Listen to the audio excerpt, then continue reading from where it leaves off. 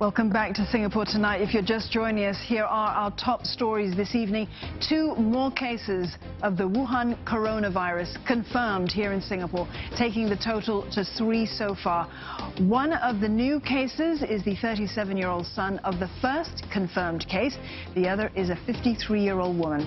All three patients are from Wuhan. And temperature screening has begun at Singapore's land and sea checkpoints. Changi Airport had already started this on Wednesday for passengers on all flights from China.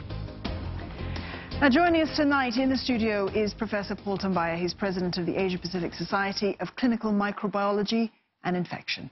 Well, Professor, thank you very much for coming in and speaking to us. So we have three cases in Singapore right now. Let's look at the latest one because um, the woman, let's right. use her as an example. Sure. We know that she stayed at a hotel near Jalan Besar. She visited Orchard Road. She went to Marina Bay Sands. She went to um, Gardens by the Bay. She traveled by public transport, um, MRT, public buses, and all this while she was ill. Right. So how difficult is it to do contact tracing in this situation? Well, it's obviously really difficult to find out who are the people who are in close contact with her. But on the other hand, when we know where she's been, it, um, it's very helpful for the doctors and for the individuals themselves.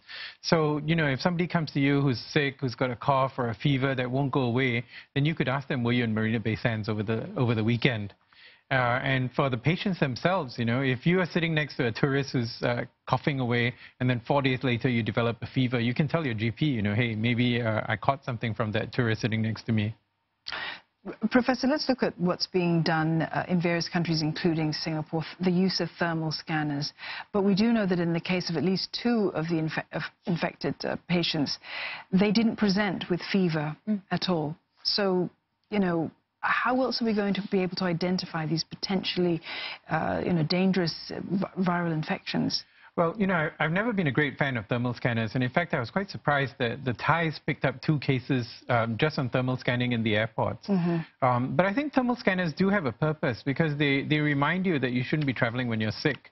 Uh, and, you know, when you walk through the thermal scanners, there's always advice to seek medical attention if you feel unwell. So ultimately, I think it's just going to boil down to people going to their doctors and, and getting the uh, uh, treatment that they need and referrals that they need. So but we can't really tell when the person is going to fall ill um, right. because, you know, as we, as we were saying that, you know, they didn't show any symptoms. Sure. So you also mentioned previously when we were talking that there is an incubation period. Right. When is this individual most uh, contagious? When he or she displays the symptoms already or during the incubation period? Yeah, now we don't really know that for sure for this particular virus. But for SARS and MERS, we do know that it's most infectious when the patients are really sick. So there is a spectrum. You know, like with chickenpox, you can be infectious even before you get symptoms. Mm. Whereas with Ebola, you're most infectious when you're dead because the transmissions have occurred at funerals and at, people handling corpses. So SARS and MERS are closer to Ebola in that sense, in that uh, it's when people are sick that the viral load is very, uh, very high, and that's when they appear to be the most contagious. Mm.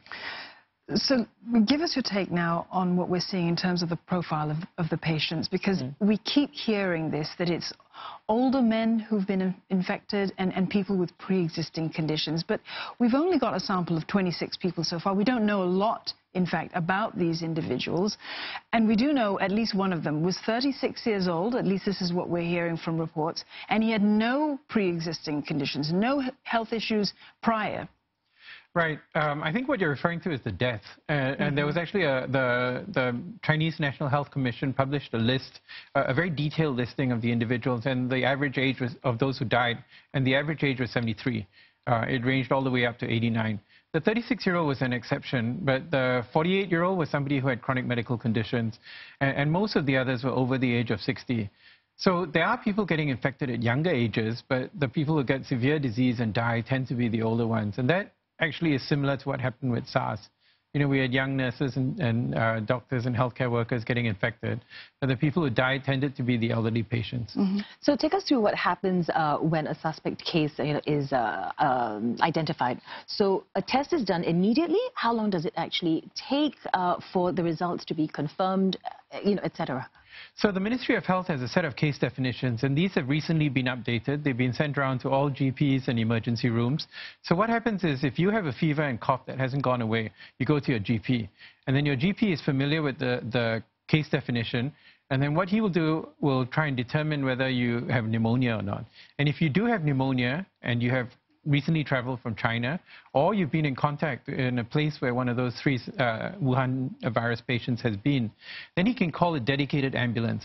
Then the dedicated ambulance will take you over to the National Center for Infectious Disease, where the doctors there will confirm the GP's suspicion, and then they will do a swab test from your nose or your throat. And within hours, actually, within about five to six hours, you'll get the result. And if the preliminary result is positive, you get a confirmatory test done. So the whole process takes uh, less than 24 hours, actually, about 12 to 24 hours from recognition by the GP to uh, confirmation of diagnosis. And that's what we've seen for these three patients. They've been relatively quick in terms of uh, identifying the patients. And during that time, uh, the key is to have these people in isolation. Mm. So while we see these numbers continuing to change every day and the number of countries impacted change, we do know that research teams are already working on test kits for this particular virus and also working on perhaps a vaccine, which would be critical uh, at this juncture. But what kind of time frame are we looking at for that to actually happen? Well, test kits will come out pretty quickly, but the key for a test kit is it has to be accurate. You know, everyone says, oh, I can do this test in 15 minutes. And I said, look, you know, if you do it in 15 minutes and you're wrong 10% of the time, I'm, not interested. Uh, vaccines, unfortunately, will take months to years because you've got to do clinical trials, you've got to do your studies in animals, you've got to make sure the vaccine is safe. Um, and so I don't think that we're going to have that. You know, we don't have a vaccine for, uh, for SARS 17 years later. Exactly. Um, Professor, really quickly, really sure. quickly, I want to ask you, what's your take on the WHO deciding not to declare this a um, global health emergency for now? Well, you know, the WHO did, said that they're not declaring a global health emergency yet. And they did say it's a, a, it's a public health emergency in China. And I think part of the reason is because it hasn't affected low-income countries just yet. The benefit of having a global health emergency is it mobilizes resources for, for low and middle income countries. Uh, interestingly enough, uh, uh, SARS didn't really affect low income countries. But countries like you know, Japan, Singapore, Thailand, they're able to cope with uh, uh, diseases like this. Thank you so much for coming in and speaking to us. We've been speaking to Professor Paul Tambyah, President of the Asia Pacific Society of Clinical Microbiology and Infection.